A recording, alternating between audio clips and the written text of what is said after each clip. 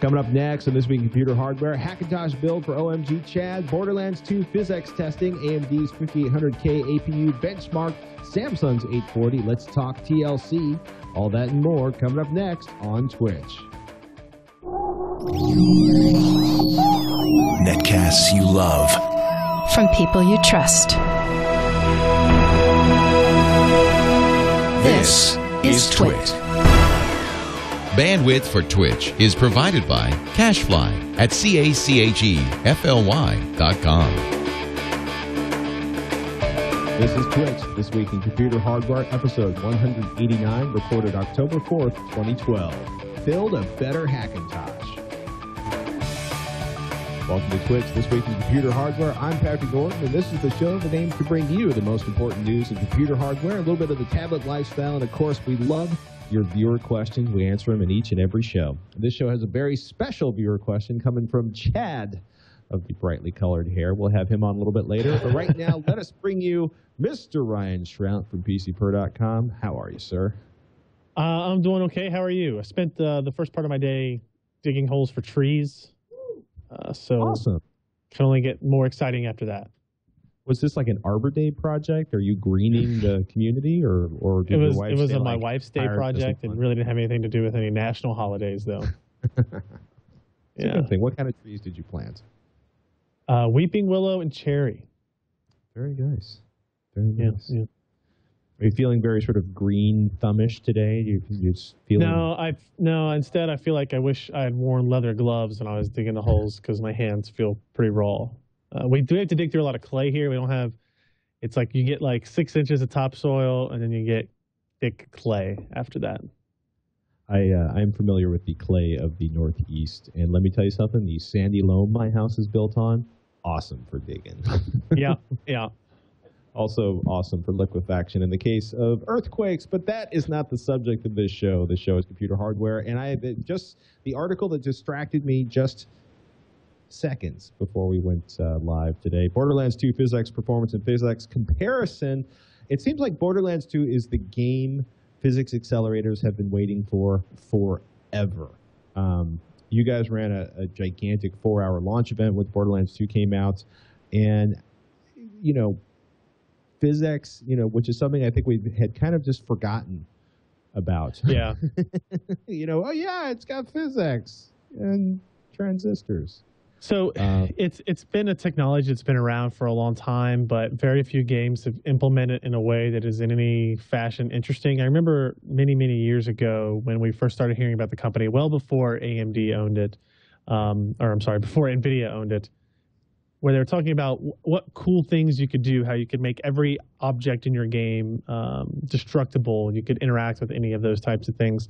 Uh, and the problem became uh, hardware integration. Nobody. This is when they were selling separate physics acceleration cards, right? And that imagine the day when you had a, a you had a video card, an audio card, and a physics card in your system. Uh, but uh, long story short, Nvidia bought them. Now it only gets accelerated on Nvidia GPUs. So you know, you, you, nobody wants to go 100% in with implementing these kind of interesting and cool physics effects uh, because you're cutting out half of your market essentially with with that uh, gameplay, and you can't make the game drastically different with NVIDIA cards than it is with AMD. So instead, what we get are a lot of these kind of extra effects. Uh, particles, fluids, cloth, those types of things that can add to the ambiance of a game, but they don't really change the gameplay dramatically. Uh, Borderlands 2 is one of the better ones in terms of uh, adding a whole bunch of stuff and making it look cool, right? So uh, you'll see if you if you pick up the game or if you watch the video in our story, you'll see the difference between physics on high, medium, and low, and you'll see, you know, there's there's uh, cloth on some and no cloth on others. You'll get dynamic fluids on some, but no fluids at all. You'll get particles uh, on some, but a lot more particles that interact in different ways with the environment uh, and, at high, right? So I think it was It's- the pretty Kotaku cool. reviewer who was just like, I just spent an entire episode. He's like, I just spent hours in Borderlands 2 shooting tarps. He's like, this is the best thing ever. You Yeah, know, it's you cool. but it's it's beautiful and it's compelling. it's it's cool and it's and it's fun, uh, but it, you know you can play without it. So what we did with this was we part of part of the story is the video where we compare yeah, physics on high versus medium versus low. And you can see uh, if you're watching the video version of it, physics low has some of the stuff, but you'll notice on the high side on the left, there's there's this gravity effect that's being that's affecting the fluids and the particles in the world, uh, but those don't even exist on the low settings. So you, you can still play the game on low. It's not that big of a deal, but it's it's cooler on medium and high. And this is one of the best implementations of it so far. The second half of the story was to compare uh, an AMD card and an NVIDIA card, how much performance degraded as you went from high to medium to low on these physics settings. We ran it 1080p, kind of, you know, max everything else out. Uh, and we used the GTX 680 and the 7970 gigahertz edition from AMD just to get the top uh, top level stuff from both guys. And what we found was if you look at the second page of the story, the performance on the AMD card almost perfectly matched the performance of the NVIDIA card when PhysX was set to low. At low, there's no GPU accelerated physics at all. There's only, it's just CPU based stuff. When you get into medium, you'll see that the performance drops pretty substantially in certain cases. Yeah, if you look at that, you'll see the cases where the red line is is well below the blue line. You're seeing these. Obviously, there's a bottleneck of some kind. Uh, and then if we go down to physics on high, you'll see that performance drops off the cliff and never comes back up. And we're talking some pretty dramatic differences. I think with physics on high, the difference is like 66 versus 33 or something like that for the averages. Um, and the explanation we got for this is while uh, Borderlands 2 will let the CPU attempt to handle the physics processing of these additional particles, the CPU can't quite keep up. And it's not because the CPU is at 100% load. We have some of those graphs on there too. It's that it's not multi-threaded in a way on the CPU that it can be on the GPU. So mm-hmm. what you what you see instead is essentially a single the, the physics thread of the game being hindered and having to wait for these other calculations to take place on the CPU. And so as a result, the entire engine kind of stalls out waiting for these things to happen and your frame rate drops accordingly. So uh, it, what was interesting to us just from an experiment standpoint is that usually in the past, up until this game, you haven't been able to enable PhysX at all when you had an AMD card installed. They just kind of disabled it, right? They just said, no, don't even bother trying. This time, where they would let us enable it and see what happens, and now we get some interesting results to see how it actually affects performance. And how do you feel about it? I mean, is is there any? Is, I mean, you know, do you, I mean, because it's funny. One of the things you said a couple times is that you know, there's nothing in here. It's it's it's beautiful. It's compelling. Mm-hmm. It's interesting use of the physics acceleration. But there's really no. There's nothing. There's nothing. It doesn't unlock any aspect of the game other than eye candy. Um, Correct. And it looks like to me, it it looks like a relatively minimal impact on frame rates. Or am I just having a bad? Well, it's minimal on the NVIDIA side, but it's right. substantial on the AMD side. Um, okay. So the debate always comes down to Oh, there it is. Yeah, physics medium. Sorry. yeah, I was looking at the wrong graph. Scroll. Yeah. So, but the the issue is always, you know, so this PhysX is an NVIDIA-owned piece of software. It's middleware. Uh, to be fair, though, that middleware is used on Xbox games, PlayStation 3 games. You know, it's it's used in a lot of different engines. But when it comes to the PC, developers have the ability to enable these GPU accelerated aspects of the game or uh, of the physics engine, and they can. But it's mm-hmm it's at the detriment of AMD products, right? Because they don't support the GPU acceleration, and that is by NVIDIA's choice, right? That's it's their product. They paid for it. They pay for the development. They, you know, all that kind of stuff. So it makes sense that they're not going to open this up uh, to to or or spend money and resources making sure that it runs well on AMD GPUs. So instead, we get, you know, basically in my opinion, the same status that you had before. If you have an AMD card, you should probably turn PhysX on low. Right. And play the game that way. If you have an NVIDIA card, even down to like a 660 or 660 Ti, you can play with the physics on high and you'll get a um, improved experience, not necessarily better. I guess it. I guess it, it's better. It's more interesting, uh, but you're still you're not going to miss any of the game or anything like that. So, you know, it's one of those. It's another instance where if you're an AMD fan, you have AMD hardware, you're going to miss out on this, and it sucks. But that's the way it's going to be. That's it's not going to change. Yeah, it, it's you know I don't I don't really anticipate uh, as as it seems like to have really good physics development, you need it on on both sides of the fence uh, AMD and NVIDIA, and there's just no way NVIDIA is going to do that, no matter how much better it might Correct. gaming. If if there were uh, a physics engine that were that was GPU accelerated and would run on both NVIDIA and AMD, I think you could see some really really cool things. Like the whole idea of the physics engine when it was its own independent company was, imagine you know Borderlands 2 where everything you shoot can be destructible, any buildings can be destructible, any items can be destructible, and that's you know, if you have really high physics processing capability, you could be able to do that. But nobody's going to spend the time to develop that type of world that only half of their PC user base is going to take advantage of. Well, we're going to be building on the AMD versus the world theme.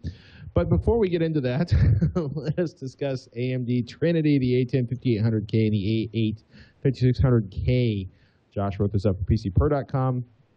Quote, Trinity, where to start? I find myself asking that question as the road to this release is somewhat tortuous. that's that's a scary way to start a review.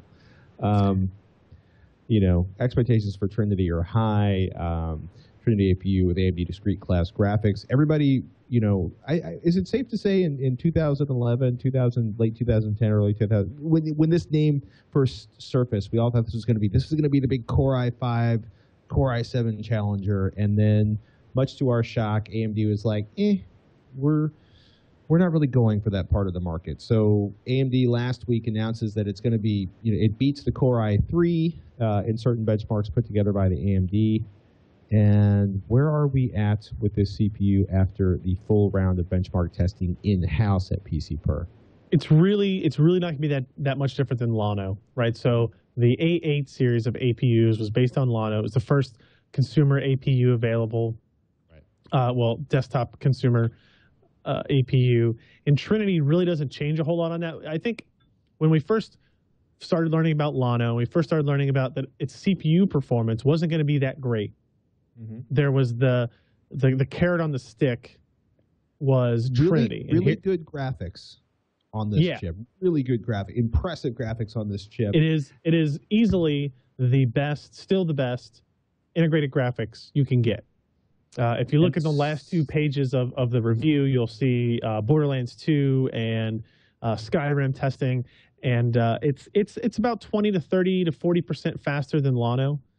Trini- the new Trinity parts are, Right. Uh, and it's significantly faster than like the Intel Core i3 uh, Sandy Bridge parts and even the Core i7 Ivy Bridge graphics. It's it holds a considerable lead over that. Um, Right. That was never really in doubt though, because the the integrated graphics on AMD's parts has always been great. Intel has been catching up, but they've always been better, and that's still the case. I think what a lot of people were hoping for was some improved CPU performance with this part, and that just didn't happen. The new Piledriver cores um, that replaced uh, the Bulldozer cores on the first Trinity, I'm sorry, the first APU, Llano, don't really add that much to performance. They add some in, in, a, in a select few instances, and they actually are a little bit slower in a couple of select few instances. So it, it's not going to drastically change the market in terms of uh, low end processor performance, low end processors in general. Where where Trinity will thrive and possibly be a very successful part is in the same markets that Llano had that chance as well. Mhm. Super mainstream gaming, low end gaming, right? You're going to build a $300, $400 box that you want to hook up to a TV and, and use as a home theater PC and play games on it sometimes. It'll also be good just as a home theater PC in general. Uh, it has lots of graphics capability. You can take advantage of uh, slightly accelerated GPU uh, transcoding and that kind of stuff as well. Uh, and it's super, super low cost. The highest end Trinity part will be $122. I think it's selling for 122 or $125 today. And you can couple that with a $80 motherboard or something like that. And so for 200 bucks, you've got your CPU, your GPU, and your motherboard. Add in some low cost memory, get uh, either a really cheap SSD or a low cost one terabyte hard drive or something like that. And you've got a complete system in the three to four hundred dollar range easily. It's going to be able to handle most anything you want to do. It's not going to blow you away in terms of speed and performance uh, on C- on the CPU side. But if you're going to do mainstream gaming and you can do some interesting stuff with it, we've got a story we'll talk about. Um, I, I think w- if we switch it around, we'll talk about it next. We're talking about completely passively cooled systems using Trinity as well, uh, you can you can do some pretty cool stuff with it. It's not it's not an Ivy Bridge killer. It's not a Sandy Bridge killer. It's not targeted at that. What we're hoping is maybe uh, the desktop CPU only called Vishera, the Trinity-based AMD FX part, will come out. I don't know, maybe in a month or so, and hopefully we'll see some competitive performance there uh, at higher clock speeds. But for now, Trinity is very much taking over the the market that Llano had, uh, but a little bit better. There's anything else to say? it's just it's like hmm, set top box, good all around workstation PC. Uh, the, the truth is, you know, is is and, maybe we're maybe I in particular am being unfair to this part because it's actually most of the people, most of the jobs I see most people doing on most computers this actually is more than enough CPU for them. They're not editing mm-hmm. video games. They're not doing high-end 3D gaming. They're not trying to support, you know, three simultaneous monitors. You know, if you're a light gamer or just not a 3D gamer at all, and you're primarily dealing, you know, with typical household computing tasks. You know, I mean, this this is a perfect. This is the perfect.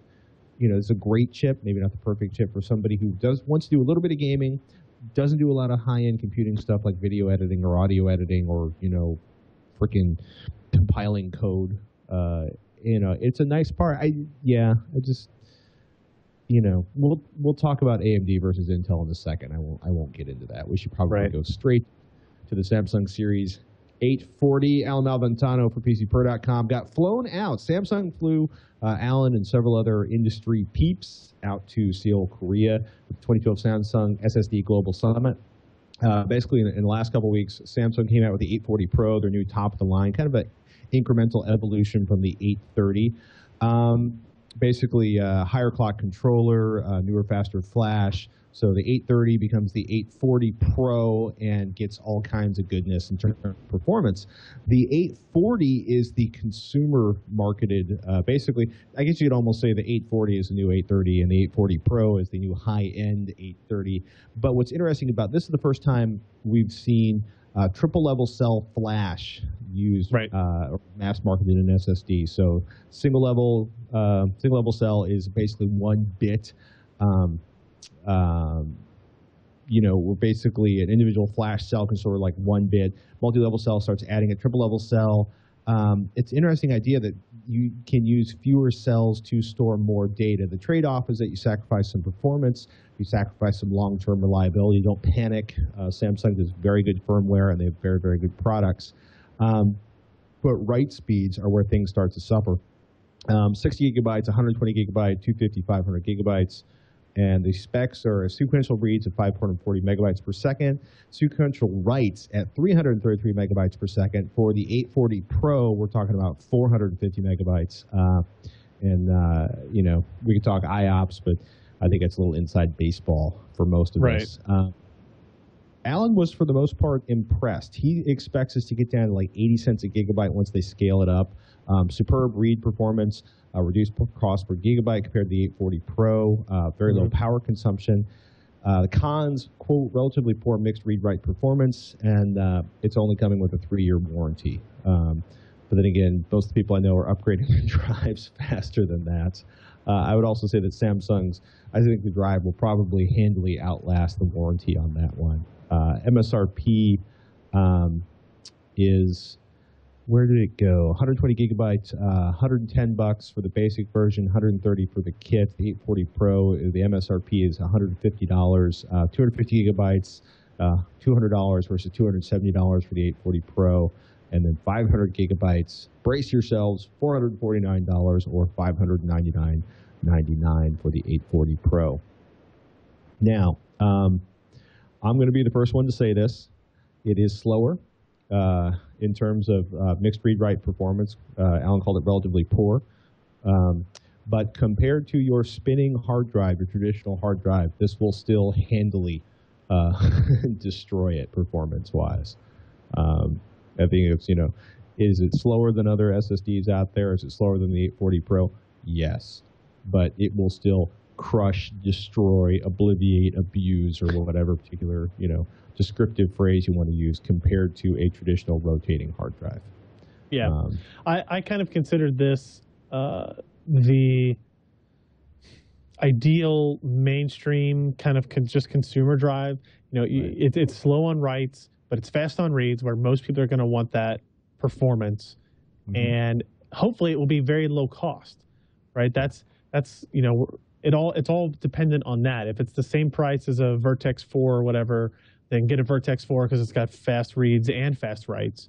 But if it's less expensive and you don't really care about write speeds, then go with whatever is going to be cheaper. And we, we have a good uh, history with Samsung and uh, their firmware and all that other kind of stuff as well. So um, I, I'm hoping once this, it's going to take a couple of months for maybe maybe a month for it to come out and settle at a price. Right, it'll be a little bit higher because it's new and it's cool, and everybody's wanting to, to get their hands on it. So it's uh, I- shiny. yeah, exactly. So I, I, I'm I'm hopeful that this uh, that the, the triple level cell flash will will be an answer to cost, at least in the not too distant future. We hope so. Yeah, and, and Alan makes it pretty clear in the final thoughts on on the review. Um, you know, it's a budget version of the pro level SSD. Quote, triple level cell flash is slower to write and provides less endurance as compared to MLC units. While the 840 does perform quite well as a first generation TLC SSD, there are several areas where it has no choice but to be outmaneuvered by the MLC equipped competition. Um, you know, and he points out a few years ago, MLC took a while to catch up in performance to SLC. Uh, Precisely. you know, and this gets back to our classic line. If you're not going to install it today, save your pennies and buy the latest and greatest when you have the money put together to buy it. Because in six months, there's going to be faster drives for less money, or this drive is going to be available for uh, considerably, well, maybe not considerably, but for less money. Um, never hurts to wait. So, Silent PC build. This looks really pretty. The uh, Asus Silent PC with the AMD Trinity APU. Yeah, it's it's pretty cool looking. Um, and we've gotten we've had a couple of interested parties here uh, looking at it because it is a completely passively cooled uh, Trinity APU based system. So the you know the, the processor we were just talking about a second ago. Um, it's based on it's it built inside a Streacom FC5 chassis, which uh, does double duty as a case and heatsink for the AMD APU. So the case itself is actually you know, acting as the heatsink on it. If you look at the picture of it, you can see the heat pipes actually go into the body of the case itself. It's actually pretty cool. The case Uh, and is it's- gorgeous. And Yeah, kinda it is. Sized of a media stack in a really nice way. Yep. Uh, I remember seeing some of these cases that would work as passive CPU coolers in the past. The issue was always you had to build for like specific motherboards, right? Because the whole placement of the cooler, if it's built in as part of the chassis, gets to be pretty complicated. Um, so you know, it's it's one of those things where you have to double check on your case and your motherboard and everything else that you're that you're working on. Um, but it's it, they're also not inc- incredibly cheap. Uh, but in terms of cool factor, just nice to look at as well as super quiet. It doesn't get any quieter than a, if you get you get that you get DIMMs, you get an SSD, you have no Mhm. fans in the in the case. You got a completely passive system, completely passive, completely silent system, which Right. uh, you know is pretty impressive. Yeah, no, it's it's uh, you know again, obviously I'm obsessed with uh, home theater PCs. Uh, Yeah. It's the side effect of working with Robert Heron, um, but it's a really, I mean, you know, anytime you can eliminate any kind of fan from the home theater room, and, and of course you could say like put it in a delete expletive closet. I get it. That's what I did with my gear, but I love the idea of decent gaming performance uh, and absolutely having no fans, which is pretty awesome. Um, and I gotta say, the Streacom chassis are absolutely gorgeous uh, and available in a whole bunch of sizes uh, here in the uh, United States from perfecthometheater.com. And the FC5 starts at, brace yourselves, people, $247.50. And ratchets up to $272. Uh, but if you're looking for a full size box, you can get it down to a, a more relaxed $180. Nice. They're beautiful cases. No, I just I love the I love the idea. So for so long, like a home theater PC had to have a, you know, a display on the front of it, Right. and in, invariably the display was so bright it actually distracted you um, from your HDTV or your projector. Um, so it's, it's nice to see a little understated design. Pardon me. Oh, no problem. Not so understated. Jeremy's discussion on PC Per. Why even Intel fans want a stronger showing from AMD? Is it price? Is it performance? Is it new technology? Oh boy. so this this story, it's actually um, a, a, little paragraph on our site that uh, links to a story over at TechReport.com, where they did a really good um, kind of information gathering bit where they looked at prices over the last couple of years of AMD processors versus last couple of years of Intel processors, and what you'll see is uh, a lack of active competition from AMD has caused Intel's prices to basically stagnate. And it's something we, we've talked about on the show quite a bit that it's the case, but it's interesting when you see it in a like hard data form, right? Here's the price at Newegg um, over time, and it drops maybe 10 bucks, but nothing other than that, right? Even if you look at a processor like the Core i5 2500K and 2600K, so the, the best Sandy Bridge processors, they even today have almost not dropped pricing at all. Uh, and I think what was another one, one of the Core i3 2105s or something like that was was almost no price drops uh, at the low end or at the mid range part level, whereas AMD prices continued to, to, drop. They were trying to drop in order to make themselves more competitive with what Intel was putting out. Intel had no reason to because they knew they were beating the best that AMD could could throw at them, so they never dropped prices. And that's you know, we talked about it a lot here. That's bad for the consumer. It's bad for our markets. Uh, it means Intel doesn't have to push technology forward. They're not trying to figure out ways to push frequency. They're not trying to ways to push their process technology further in those directions. Um, and overall, it's just a it's a bad thing when you have an unhealthy two-party system. I guess to to to stay on topic with the the culture as it is now, right? If you only have one player in dominance, they can pretty much do whatever they want. They're not pushed to perform in any kind of fashion. And um, it's a, it was a really good write up over at Tech Report, uh, just a collection of this data to show you how Intel prices have not changed over time. That is a problem if you like yeah. affordable parts. Yeah. Um, you know, the other thing is, is can AMD, I mean, AMD has basically publicly declared that they are no longer going to fight Intel for the high right. ground, Core i5, the Core i7, the bleeding edge, high performance processors because to put it bluntly, they, they failed. They, they, they could not deliver. They could not scale their CPU technology to keep up with uh, Intel. I, you know, I got to say, I don't really, you know, I, I don't really see anybody stepping up to challenge Intel in that area. Um, call me crazy, or or or no, you know. there's not. I mean, uh, the only person that it could possibly be would be Intel, and right. what I think many people fear will happen is that this kind of the consumer desktop space will just stagnate out. It'll get to a point where Intel's like, yeah, we're the best here, but we don't have any competition. There's no point in us developing more. You can already see that a little bit in that their big push into mobile markets, cell phones, tablets, that type of thing. That's that's where they move their direction to, their focus to is not on high performance, but on right. low power.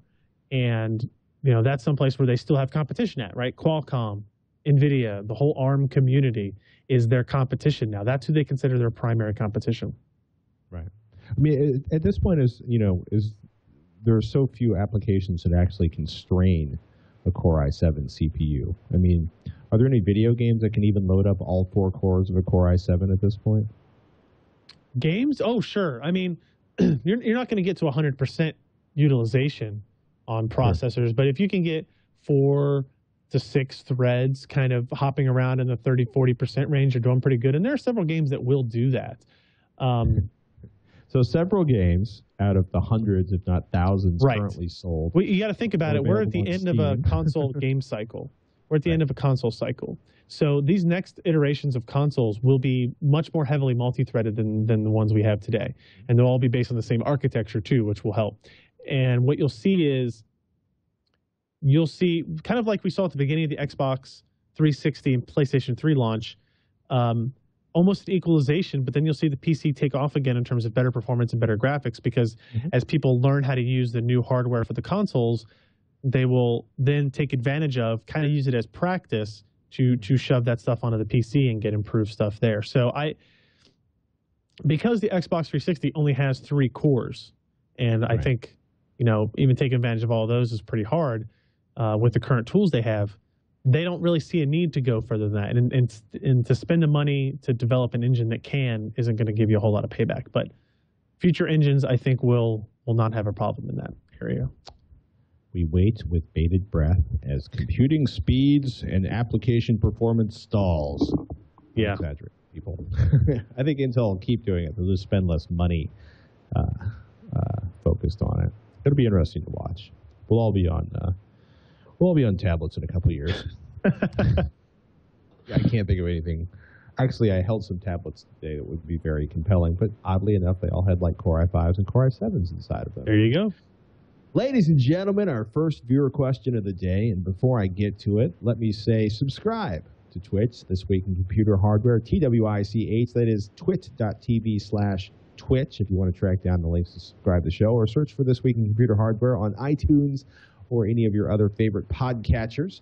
Uh, email us twitch, T-W-I-C-H, at twit.tv if you want to ask us a question, or fire your Twitters out to at Ryan Shrout or at Patrick Norton on the Twitter. And right now, joining us, not from Texas, but from Petaluma, California, Chad Johnson. You may know him as OMG Chad, is looking to build his very first gaming PC. I am. I'm really excited about this one, and I needed y'all's help.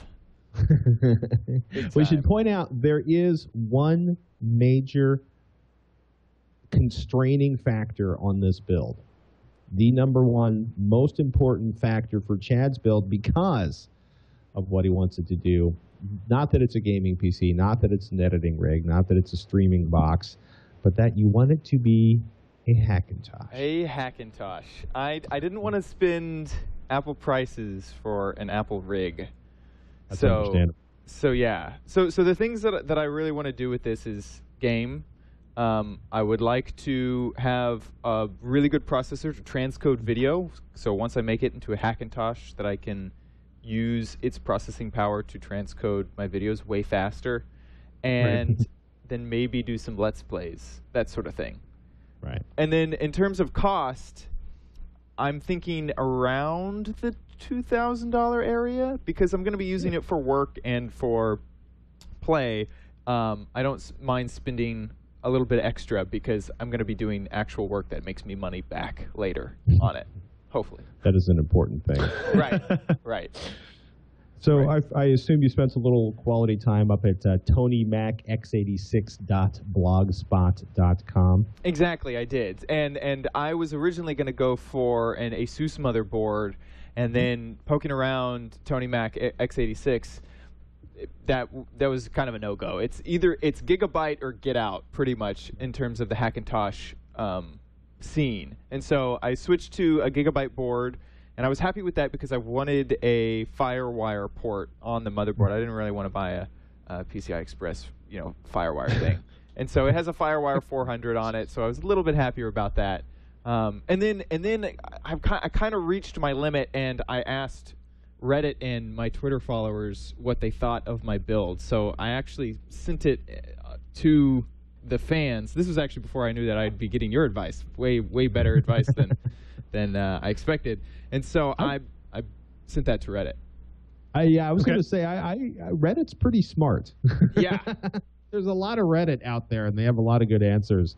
Um, it's funny, uh, you know, the comments on Reddit use MultiBeast for the install, for parts, of course. This is like the first post from iEnthusiast. Uh, you know, go to tonymacx86.blogspot.com. If you've never com, not con.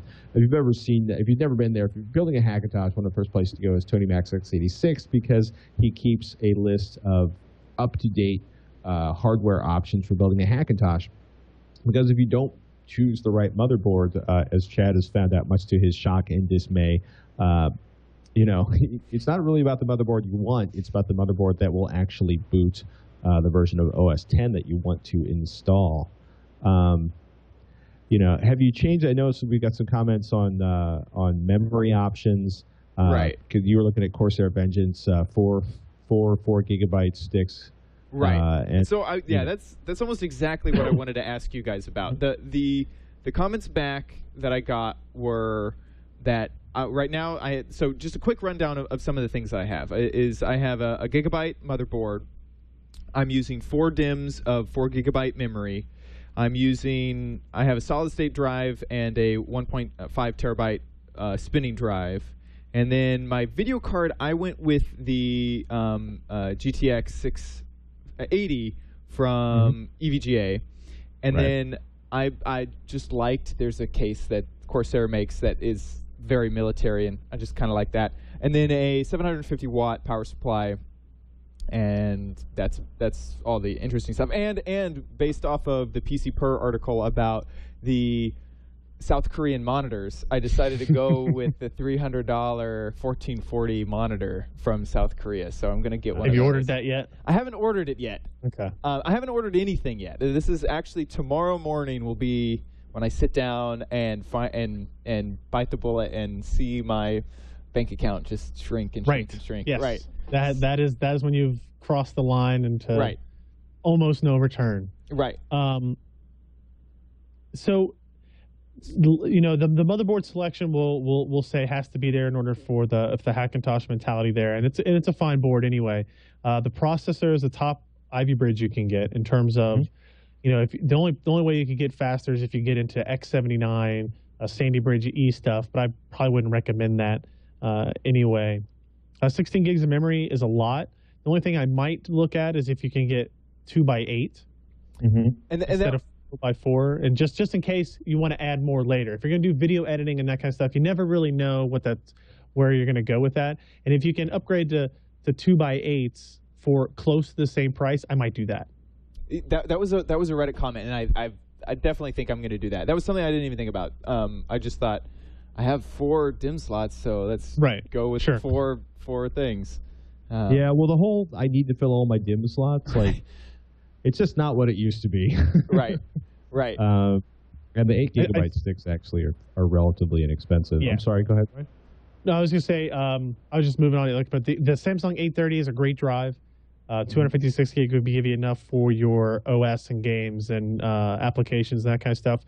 The Right. spindle hard drive, it's up to you. I don't know how much.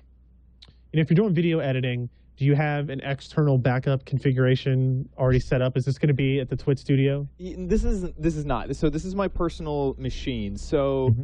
the the spindle drive was what i was expecting to put the mac operating system on and that's where i would be Right. doing all of the video transcoding Okay. and i've had finicky success with um, with the eSATA cables to my hard drive docks uh, Sure. i'm using a, a hard drive toaster just to drop in hard drives and I've had Mhm. such finicky success with that that I expected that I would use the FireWire 400 cable to transfer the video, transcode it, and then retransfer it back to a to an archive drive.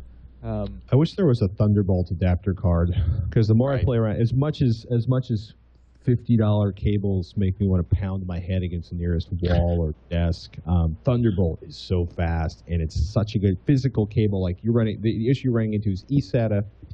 eSATA's like SATA's a mediocre cable. Like it's it's not bad if it's a light cable. It's inside a PC and you're not moving it.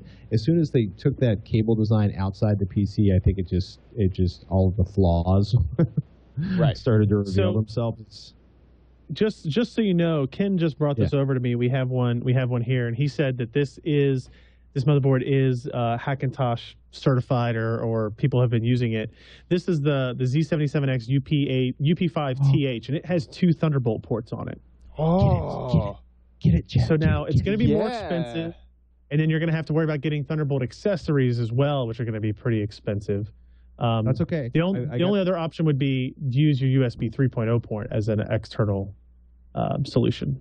yeah, assuming OS 10 will recognize USB 3.0. right. Um, yeah, that's true. I guess that may not. That's That's kind of true. my, my And and there. and Ken said that this will work. Like the Thunderbolt ports should work on uh, the OS. So, and Intel, it does have Intel-based USB 3, so it should work on the on Yeah, the uh, That's exciting. as well. Do you happen to know? Does that have a? At the moment, what I'm using is this laptop, and I'm using the FireWire 800 and uh, port out, and that happens to be fast enough for editing the video straight off the drive. Do you happen to know Mm-hmm. if that board has a FireWire 800 as well? Because I could Um, switch. I could switch to Thunderbolt if I needed to. It would be a another investment in drives. Does have It an does? IEEE 1394 port. Ho, ho, ho. I'm really surprised by that, actually. I thought for sure I was going to have to tell you no, but uh, yeah, it does. Is that? Is that I Gigabyte is one of the few companies that still does that, and I think it might be because of the Hackintosh crowd. To be completely, completely honest with you, um, it is going to be a more expensive motherboard. I was just going to look it up, um, so I don't know about how specific. That's that's your- fine. your It- it- budget that's, is. that's such a crucial. I mean, that's such a crucial part of the entire build is the the media tr- media transcoding. I mean, it, it takes up to 16 hours to transcode the video that I want to want to do, and that's unacceptable. So that's such an, a crucial part of this build that that's doable. The uh, Looks like do you and then I care about saving? 60 oh, bucks sorry. more.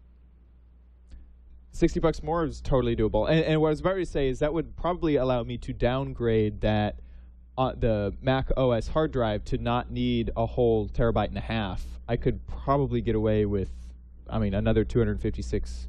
Um, actually, I have I have a few 80 gigabyte hard drives that would probably run just fine. They That's could, awesome. yeah. If you don't, if you're not worried about uh, IO IO performance on that that particular partition, another SSD would be great, just in Mhm. terms of improving your overall um, user experience in the Mac OS as well. But Have if you, it's uh, oops, sorry. cheaper too, do you care about? I mean, you know, do you care about overclocking? In which case, you might use a 3770 instead of a 3770K. Uh, two eight gigabyte six uh, eight gigabyte sticks of Corsair will run you about 20 bucks less uh, at Newegg to still get to the 16 gigabytes of, of uh, uh, 16 gigabytes of memory. Um, man, trying to think where else. The, the other thing that machine. that was dude. pointed out on Reddit, which I, I had not read enough reviews up to that point, is that I knew I knew that I would be spending around five hundred dollars for a uh, video card, and then Mhm. they pointed out that I was choosing the 680, that the 670 can be clocked really close to Mhm. the 680, and I just I I just you know stupidness. I was just like, well, four gigabytes is bigger than two gigabytes, so. I'm gonna go with the 680. Um, it's but after reading those reviews, I'm I'm really compelled to to jump. I, I think you know the 680 is a great card. 684 gig is really for if you're going to do multi multi monitor gaming. That's really when a four gig frame buffer has really become important. I think I think even on that 27 inch 2560 by 1440 monitor, a 670 is going to be plenty, and you can get those for like 399. So you could take 160 dollars off your price right there. Um, and yeah, if you're overclocking these boards is, is really simple as well and you can you know use if you get an evga or a galaxy card uh, asus msi actually they all kind of come with their own overclocking software it's real easy to do as well if you want to do kind of creep it up a little bit closer to the 680 performance levels um, and you can and you can you know pay for that different motherboard by taking a little bit off the graphics card at the same time Right. Right. By the way, I got to say the tactical case, the uh, Vengeance C70 from Corsair, one, love the style. Two, uh, already has three 120 millimeter fans loaded in it, so you're not going to need to spend any money on fans unless you want to quiet the machine down. Um, yeah, I like that. That's a really neat case, by the way. I I, oh, I chose I- it practically purely on style. I, I just I like that it had handles, and if I ever needed to take it somewhere in a pinch, I could handle it. And and uh, it had, I have it on my screen. It has this really cool gunmetal look to it.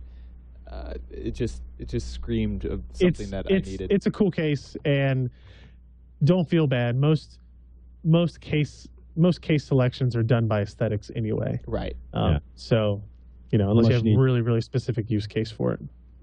I need nine gigantic five and a quarter inch drives that are accessible from the front right. of the case. right. Exactly. Something unique like that. Overall, though, I think um, a really good build. You know, if you're interested in the motherboard, uh, the model number, you know, I, I can email it to you after the show. Z77X UP5TH. The TH standing for Thunderbolt. Get it?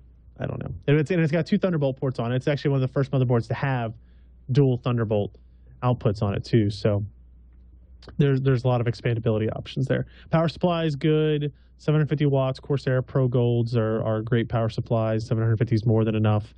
Uh, and then uh, the Vengeance K60. The only thing I'll make sure you, you they are loud keyboards.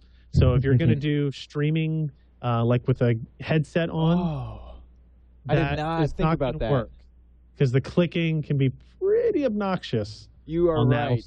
Right. We are, actually using Microsoft soft touch keyboards for that kind of stuff, only because the the, the keys are kind of annoying when they get picked up by a a, a boom mic. You're right. I'm, I'm gonna have to nix that. Yeah, uh, the, the one of the reasons that the memory is so high is that I do a lot of Minecraft gaming, and you c- I can easily send Minecraft four eight gigabytes of, of memory to be super smooth. And the idea was this rig would allow me to do those let's plays, the the play along sort of videos. And yeah, that that motherboard, that that keyboard is not gonna fly. I'm gonna have to kill that. Yeah, yeah. A- anything that has um, cherry keys Right. is is gonna is gonna is gonna Right. potentially be and, and I've even. I've even used that keyboard. We reviewed it uh, uh, here, and it was just such a comfortable keyboard. I knew that I was getting the clicking stuff. I just didn't think about actually streaming with it and how ridiculous it would be. It- yes, yeah. Yeah. Well, you can always own a second, inexpensive, less tactile keyboard that you plug in when you're streaming, or That's you know, actually the- that's what in we do. Like we have them, and we just we have two. They're both plugged in all the time. We just kind of swap it whenever. Perhaps a quiet Apple Bluetooth keyboard with a command key, something subtle. right. So, Nice. Right. are you excited? Are you going to build it? Can we I'm help so you build excited. So so actually, Iyaz already grabbed me, and because he saw my Awesome. Twitter post and went, well, "This needs to be a know-how episode." So uh, I'm gonna buy Nice. everything tomorrow morning. Uh, with the new the new motherboard is a definite. I'm going to switch out that graphics card. I'm going to get the two DIMMs instead of four DIMMs of, of memory, and uh, that keyboard just won't get bought. So uh, very I'm s- really glad that I talked to you guys because I knew that I was probably doing something wrong. I didn't realize how much I was doing wrong. So doing No, it was a good wrong. overall build. It was good. thanks. I, I think you'll be happy, and uh, yeah, you're gonna have a lot of. Perform- I don't know what you're upgrading from to this, but this is basically the the the, the fastest kind of consumer gaming PC you could buy. Right. Yeah. I mean, I, I you, needed you could go SLI and all that other crazy stuff, but I needed this it is to good. almost do everything because it needed to edit video, it needed to game, and it needed to stream. And and uh, I I knew it was going to be expensive, but it, it just kind of is a tool that I needed to use for everything. That's always Cool. the way with the tools. I need one tool to do it all. Um, Chad, a pleasure as always, sir. Thank Keep you. Posted. We want pictures of the final build. we'll do, We'll do. One thing I'm not Those would be- doing is I'm not going to LED crazy. I I can't stand the the cold cathode ray tubes and stuff. I'm, I'm not going. oh, lighting inside your case I'm and not stuff. doing that. No, it's gonna No. be dark. It's not, and yeah, I think you're several that. years late for that trend. Right. right. yeah. we are about to run out of time, ladies and gentlemen. We're going to do more of your viewer questions next week. So, Ryan, what is coming up? Exciting, actually, week on PCPer. Not that it's never not an exciting week on PCPer.com. but Good but you, there's a lot of really cover. exciting stuff. Hey, I'm on your website a lot. Um, The, you uh, know, w- we've got um, there's going to be a new graphics card release again next week. Go figure. It'll be on the low end side though, the very budget conscious side. So stay tuned for that if you're interested in that. We're going to have uh, reviews of a couple different motherboards. One of them being Thunderbolt based. This one actually from MSI, and uh, we've got we're going to do a couple more reviews of systems. Uh, we've got a small form factor mini ITX system with a GTX 680 in it, and we got it. We just got a system in shipped into us in a big wooden crate. That's how you know you're getting something good when it comes in a wooden crate. Uh, and it's a Origin PC with dual GTX 690s. Nice. We're keeping it fairly simple at Tekzilla. We just did uh, talked about Samsung's TecTiles, which can basically can turn they're stickers that turn any object into a device that supports near field communications. Huh. Uh, we talked projectors versus large screens and why you don't really need to spend a lot of money on a on, on a physical screen for your projector. And we have uh, some fun with so Pelican the case manufacturers decided they wanted to do a consumer brand because apparently Pelican doesn't have an awesome enough consumer reputation as it is. Pelican being the case manufacturer, Right. and they did a crush-proof notebook, the Urban Elite U100, uh, and I had some quality time with that. Like like a laptop? no, a, a- a backpack with basically it's a backpack. Oh, okay. backpack with a Pelican case for your notebook built in. Awesome. Yes, Yeah. actually, uh, uh, there's just one flaw. It is awesome, but there is one flaw. All right. And, uh, we, we talk about that on the Tech Show. So that's it for this edition of TWiCH This Week in Computer Hardware. Twitch at twit.tv is the email. We'll have the usual slate of emails next week, and hopefully in the near future, a report from Chad on how's Hackintosh built things. That's it for this edition of TWiCH. I'm Patrick Norton. I'm Ryan Shrout. See you next week on TWiCH.